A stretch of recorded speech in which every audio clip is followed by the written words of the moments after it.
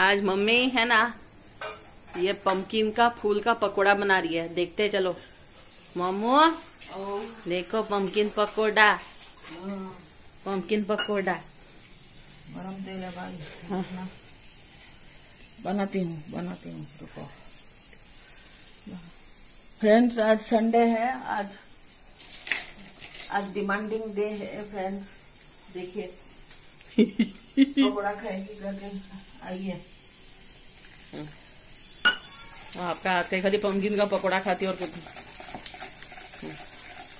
बच्चों के लिए तो करना ही पड़ता है। और मेरी बेटी तो अनोखा चीज़ है बाहर कुछ खाती नहीं है। इसलिए अच्छा लगता है जब बच्चे जो बोलते हैं वो खाना ही ये खाना तो क्या क्या। डाला इसमें?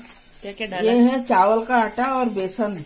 और कितना चम्मच चावल का आटा कितना चम्मच बेसन इसमें? इक्वल इक्वल आपको कम घर का मेंबर के हिसाब से आप बनाइएगा। हम्म, जो भी दे इक्वल इक्वल हम्म, चावल का आटा एक आ, एक कप तो बेसन एक कप। हम्म, और थोड़ा उसमें नमक डालिएगा। शेजवान चटनी भी थोड़ा सा कलर के लिए। और मैं आप डाल सकते हैं मैं ना सेजवान चटनी ये है नौर का। थोड़ा सा मैं डालती हूँ। हम्म, ये ऑप्शनल है अगर आपको नहीं पसंद है ना डालें। थोड़ा पानी देके ज़्यादा पतला मत बनाइएगा। सेमी सॉलिड थोड़ा जैसे पकोड़े का बैटर बनता है बस वही वही बनाइएगा। और जो लोग अंडे नहीं खाते तो वो लोग क्या करें? कोई बात नहीं उसमें थोड़ा गर्म पानी डाल दीजिए ना। गर्म पानी डालने से इक्वल वो टेस्ट आएगा कोई फ़र्क नहीं पड़ता है। ये पंपकिन का फ्लावर हम लोग जो पम्पकिन बोलते हैं जो कोड़ू कद्दू कोड़ू जो है ये है उसका फ्लावर ये वाला। मेल फ्लावर है। उसका पकोड़ा बनता है। ये क्या हमारे उड़ीसा और बंगाल में एक बहुत ही एक डेलिकेसी है। हम लोग बचपन में गाँव जाते थे वहाँ पे ये सब खाते थे। आजकल तो ये सब कोई बना, कोई जानता है, कोई नहीं जानता है। फिर भी मैं कोशिश करती हूँ थोड़ा करने के लिए। बस कुछ नहीं है, इसको ऐसे ही बैटर में डुबाइए।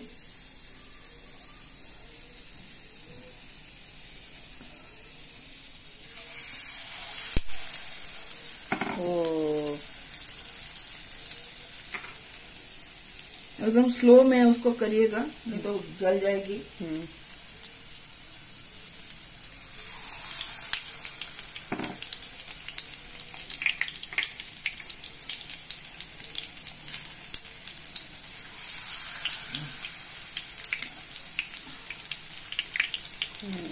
जब तक रेड नहीं हो जाता इसको फ्राई करना है ना?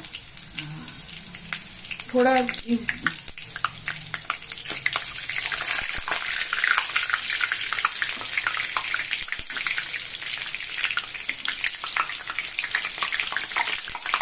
ये बहुत जल्दी हो जाता है कोई टाइम नहीं लेता है। इसको एकदम गरम गरम खाइएगा तो उसका मज़ा बहुत अच्छा लगता है। ठंडा कर देने से उसका कोई वैल्यू नहीं है।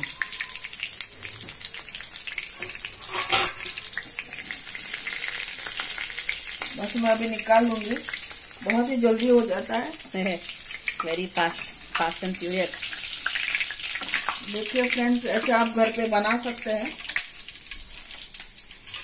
देखिए फ्रेंड्स एक कद्दू का कद्दू का फूल का पकोड़ा। इसमें स्टफिंग भी होता है। एक दिन मैं आपको स्टफिंग दिखाऊँगी, आलू का स्टफिंग कीमे का स्टफिंग आप जैसे आपकी इच्छा, आप दे सकते हो। मेरा किचन गार्डन में ये तीन था, इसीलिए मैंने बनाया। ज़्यादा बड़े बड़े भी होते हैं बड़े बड़ा देख के लीजिएगा उसमें कीमा का स्टफिंग देख के भी बनाइएगा। वो भी बहुत ही टेस्टी होता है जो नॉनवेज खाते हैं। जो लोग नॉनवेज नहीं खाते हैं पनीर का को टोफू का स्टोरिंग भी है टोफू टोफू भी। टोफू है पनीर है उसका एकदम चूरा करके उसके अंदर भर भर के भी आप बना सको तो वो भी वो भी अच्छा लगेगा। सोया नागेट्स का जो कीमा आता चूरा जो। नहीं वो अच्छा नहीं बनेगा। उसमें कर सकते हैं पर मैंने कभी कोशिश की नहीं है। एक कोशिश करूँगी तो आपको दिखाऊँगी। ये है कद्दू का फूल का पकौड़े। आप आप भी बनाए टेस्ट करें देखें कैसा हुआ कैसा हुआ।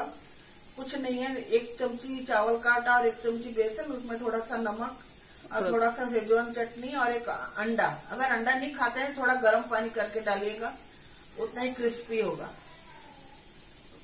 इसमें कोई हार्ड एंड फास्ट रूल नहीं है कि अंडा ही डालना है। अब देखें, कैसा हुआ है।